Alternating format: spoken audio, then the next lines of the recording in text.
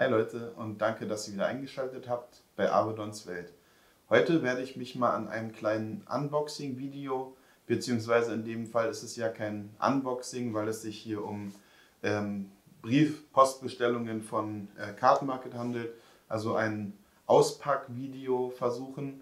Und ich wollte einfach mal euch kleines Feedback geben, was ich so bestellt habe und was ich so zu den einzelnen Bestellungen sagen kann. Ja, häufig gibt es ja irgendwie kleine Diskrepanzen mit der Verpackung. Irgendjemand äh, klebt den Tesastreifen auf die Karte rauf, oben guckt die aus der Hülle und der Tesastreifen ist auf der Karte oder äh, beim Verpacken ist irgendwie an der Ecke beim in die Hülle schieben ein kleiner Kratzer entstanden oder was weiß ich. Und das wollte ich einfach mal mit euch gemeinsam machen. Mal gucken, ähm, was ihr dann so zu dem Video sagt, wie sich das Ganze entwickelt. Ich bin mal selber gespannt. Ich habe also jetzt keine Ahnung mehr, was in, den, was in den Briefen drin ist, was mich jetzt hier erwartet. Ich habe also letzte Woche recht viel bestellt und bin, wie gesagt, sehr gespannt. Jetzt ist einiges angekommen von den Bestellungen, leider noch nicht ganz alles. Aber die ersten drei Briefe werde ich jetzt ähm, mit euch gemeinsam aufmachen und dann gucken wir mal, was sich da so Schönes drin verbirgt. Los geht's mit dem ersten Brief.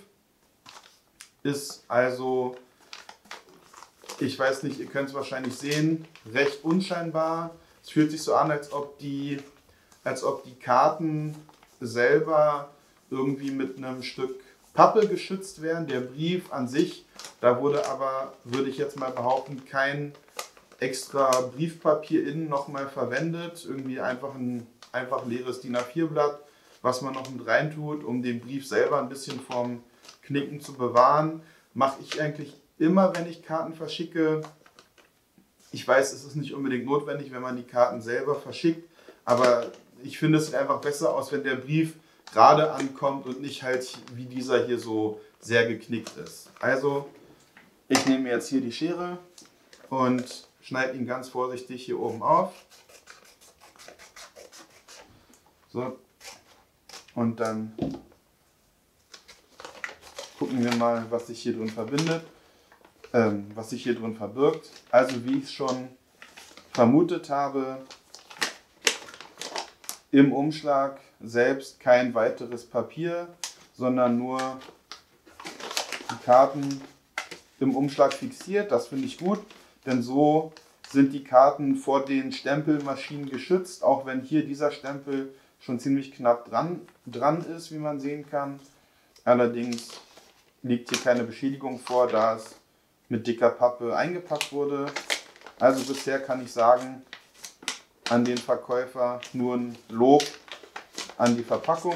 Und ihr merkt auch schon, es ist gut geklebt. Muss ich hier mit der Schere rangehen. So. Also. Das Ganze hier ähm, auf die Pappe raufgeklebt. Also auch doch entgegen meiner Annahme nur von einer Seite geschützt. Jedoch liegt die offene Seite auf, dem, auf der Rückseite vom Brief. Also da kommen ja, soweit ich weiß, eigentlich nie Stempel rauf. Kann man also nichts gegen sagen. So tun wir das mal hier zur Seite und machen mal den Teser ab. So, mal gucken, was sich hier drunter befindet. Ich hätte auch mal eine kleinere Schere nehmen können. Bin auch ein Experte.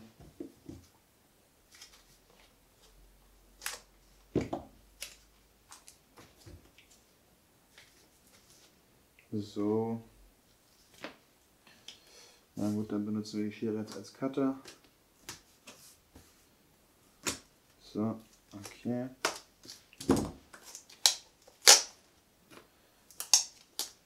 Also,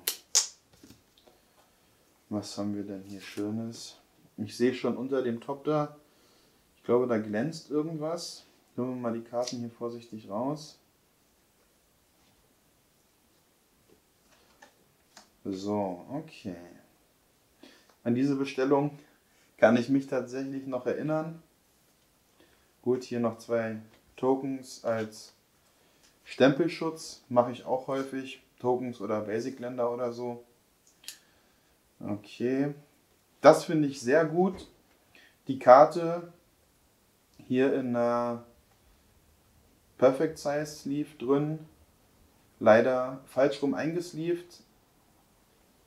Die Öffnung oben ähm, schützt leider, wenn, wenn man dann die Karte selber nochmal in eine, in eine richtige Hülle reinmacht. Wisst ihr ja bestimmt, so kann man es zwar leicht reinmachen, jedoch wenn jetzt beide Öffnungen oben sind, wenn die Karte auf dem Tisch liegt und irgendwas ausläuft, ist es nicht vor der Feuchtigkeit geschützt. Deswegen mein Tipp, falls ihr es noch nicht so macht bisher, immer die Karten doppelt schützen, das heißt die Öffnungen gegeneinander versetzen. So. Und so habt ihr einen optimalen Schutz für eure Karten, wenn ihr also beide Öffnungen gegeneinander gesetzt von den Höhlen legt. Ja, okay. Dann gucken wir uns die Karte nochmal an.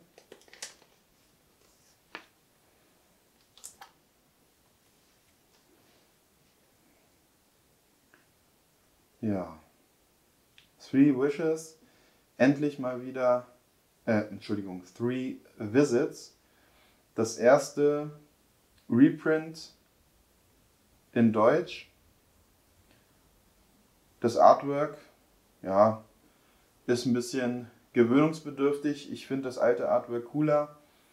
Ähm, aber ich freue mich auf jeden Fall mega, dass es endlich mal ein Reprint gibt und musste mir die Karte natürlich sofort in Deutsch noch als Foil bestellen. Mega happy, dass sie jetzt endlich angekommen ist. Was ist das? Ist hier ein Kratzer drauf? Ich glaube, das gehört zum Artwork. Also die Karte sieht sehr, sehr gut aus. Ich kann keine Spuren, keine Kratzer erkennen. Wunderbar. Also wieder in die Hülle rein und dann dem Verkäufer gleich eine positive Bewertung dalassen. Okay. Weiter geht's mit der nächsten Bestellung. Hier ganz cool. Ähm, also Custom Briefumschläge. Süß gemacht hier mit dem kleinen Drachen, der in den Magic-Karten badet. Also der Briefumschlag selber fühlt sich auch schon im Vergleich zu dem anderen sehr viel wertiger an. Und es ist jetzt für mich schwer zu sagen, ob hier in dem Briefumschlag selber nochmal ähm, Briefpapier irgendwie verwendet wurde. Wäre aber vielleicht auch gar nicht nötig, da der Briefumschlag selber wahrscheinlich schon etwas dicker ist als ein Standard-Briefumschlag, den ihr bei der Post kaufen könnt. Was ich hier sagen kann, die Karten, ich weiß nicht, ob die jetzt im Umschlag selber fixiert sind. Könnte sein. Jedenfalls sind sie beim Transport irgendwie auf die rechte Seite hier rüber gerutscht und sind gefährlich nah in die Region der Stempel geraten. Ich hoffe, da ist alles in Ordnung geblieben. Hier oben fühlt sich alles gut an, deswegen werde ich jetzt mal mit der Schere hier meinen Schnitt setzen.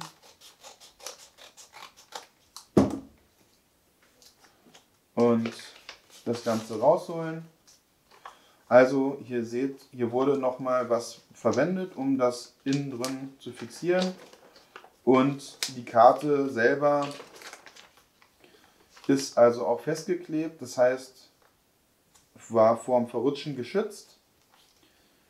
Und hier, das habe ich auch schon mal häufiger gesehen, wurden mehrere Hüllen ineinander gesteckt, um also auch zu verhindern, dass die Karten dann lose im Umschlag rumfliegen. Ja, ich kann es auch hier ziemlich leicht, ziemlich leicht rausholen. Also, hier wieder zwei, ich sag mal, Bulk-Crap-Karten irgendwie als Stempelschutz. Tun wir mal zur Seite. Und hier die bestellte Karte Hüter des Einklangs auf Deutsch in Foil. Sehen beide ziemlich gut aus. Auf den ersten Blick kann ich jetzt hier keine, keine Schäden, keine Kratzer oder sowas erkennen. Die Rückseiten sehen auch sehr gut aus. Und hier muss ich sagen, wurde leider am falschen Ende gespart. Ich freue mich immer, wenn die Verkäufer bei den Foils Perfect Sizes benutzen, einfach um halt irgendwie Kratzer schon von vornherein irgendwie auszuschließen. Ich weiß nicht, wie es euch geht, ob euch das egal ist, ob ihr da Wert drauf legt. Ich lege da eigentlich Wert drauf. Ich freue mich, wenn die in Perfect Sizes kommen. Ja, so eine Packung ist jetzt auch nicht teuer und gerade wenn man irgendwie ein größerer Händler ist, ja, mein Gott, dann kann man die sogar noch von der Steuer absetzen. Ähm, ich finde, das ist es wert, um dem, dem Käufer irgendwie ein positiveres Gefühl zu geben. Ja, natürlich ist es trotzdem gut, dass die Karten jetzt unbeschädigt angekommen sind. Ich gebe deswegen auch keine schlechtere Bewertung. Das fände ich ja, das wäre ein bisschen unfair. Ähm, er kriegt natürlich trotzdem eine positive Bewertung hier, der Verkäufer. Aber es ist einfach irgendwie so ein, so ein Gefühl. Ich finde, das ist einfach ein guter Ton, ähm, Foils in Perfect Sizes zu verschicken. Könnt ihr ja mal einen Kommentar da lassen, was ihr dazu sagt. Wie geht ihr damit um? Habt ihr überhaupt Perfect Sizes? Benutzt ihr die? Seid ihr dazu geizig? Ist es euch egal? Ähm, ja, was sagt ihr dazu? Würde mich mal interessieren, ob es nur mir so geht oder ob noch andere äh, das auch so sehen. So, und dann der nächste Brief. Hier auch, muss ich sagen, das war ein Einschreiben. Und hier merke ich auch im Brief wieder ein Pappkarton, also sehr gut. Stempelschutz, Karte ist nicht verrutscht. Ja, ich fühle, die Karte, glaube ich, ist hier, hier irgendwie in diesem, diesem Bereich fühle ich hier auf dem Karton eine, eine Erhöhung. Und das ist jetzt genau an der Stelle leider, wo der, wo der Stempel raufgekommen ist. Muss ich mal schauen gleich, ob das irgendwie auf die Karte sich übertragen hat. Ähm, also ich weiß nicht, was sich manche Verkäufer dabei denken. Ja, man weiß doch, wie, wie die Post mit den Briefen umgeht, wieso man die Karten nicht einfach im, im Brief selber dann auf die linke Seite fixiert, damit die einfach nicht gestempelt werden können, schon von vornherein. Also das ist ja nun wirklich kein großer Akt. Ähm, sollte eigentlich jedem Verkäufer irgendwie bewusst sein. Naja. Sowas macht mich immer ein bisschen traurig, muss ich gestehen, wenn da auf sowas nicht geachtet wird wenn die Karten dann heil ankommen, ist es natürlich, wie gesagt, egal und das macht dann auch in der Bewertung bei mir keinen Unterschied, aber ja, so ähnlich wie mit den Foils. Ich, vielleicht bin ich doch ein bisschen pingelig, weil ich schon häufig auch schlechte Erfahrungen gemacht habe. Ähm, und auch hier muss ich jetzt sagen, man hätte die Pappe einfach umdrehen können, um die Karten nach hinten zu legen. Ähm, und dann wären sie noch mehr vom, durch, vom Stempel irgendwie geschützt gewesen. Ja, und so wie ich es jetzt hier gefühlt habe, war es tatsächlich so, ja, die eine Ecke war hier genau, genau hier waren die Karten. Ja, ich hole die mal jetzt gleich raus und gucke mal, was da, was da Sache ist. Hoffen wir mal nur, dass jetzt in, dem, in der Hülle selber nochmal irgendwie auf der Rückseite ein Stempelschutz drin war. So.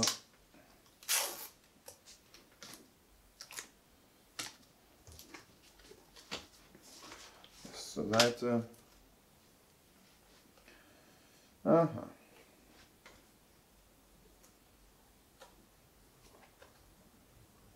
Und hier, das finde ich sehr gut, ja, oben zugeklebt, dass die Karte nicht rausfliegen kann und auch so geklebt mit Papier dazwischen, dass kein Tesafilm direkt an die Karte gekommen ist.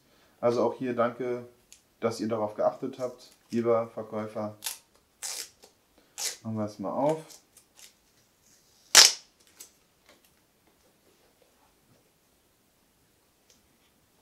So.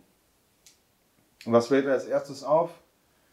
Keine Perfect Size, kein weiterer Stempelschutz. Bei so einer teuren Karte äh, kann man, glaube ich, mal das Geld schon irgendwie investieren ja, und äh, da eine Perfect Size reinpacken.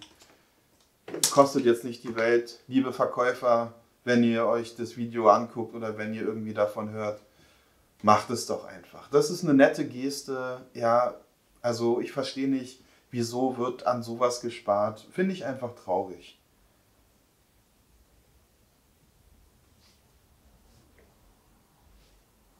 Vielleicht liegt es auch nur an mir, weil ich sehe, hier ist in der Hülle selbst noch irgendwie was. Ja, aber dann. Also steckt es doch wenigstens richtig rum und ich glaube, ja, es ist eine Perfect Size, aber auch wieder falsch rumgesteckt. Traurig. Also, wie gesagt, es wird, wird der guten Bewertung keinen Abbruch tun. Ja, weil die Karte ist heil und sicher angekommen. Gucken wir mal auf der Rückseite. Sieht man hier irgendwas von dem Stempel? Ja, zum Glück nicht. Also auch hier nochmal alles glatt gegangen. Ja, aber also schade. Ich finde es einfach schade. Achtet doch vielleicht drauf. Nehmt euch die Zeit, ja. Macht's richtig. Macht's nicht so, wie ich es gerade gemacht habe. Sondern macht's richtig. Die Öffnung gegeneinander versetzt und dann ist die Karte auch wirklich gut geschützt in der Hülle. So. So ist es richtig und dann hätte ich auch beim Rausmerken, beim Rausholen gleich gemerkt, aha, hier ist eine Perfect Size dran, super. Aber so war ich im ersten Moment doch ein bisschen enttäuscht und ich habe es ja gemerkt, aber trotzdem. So,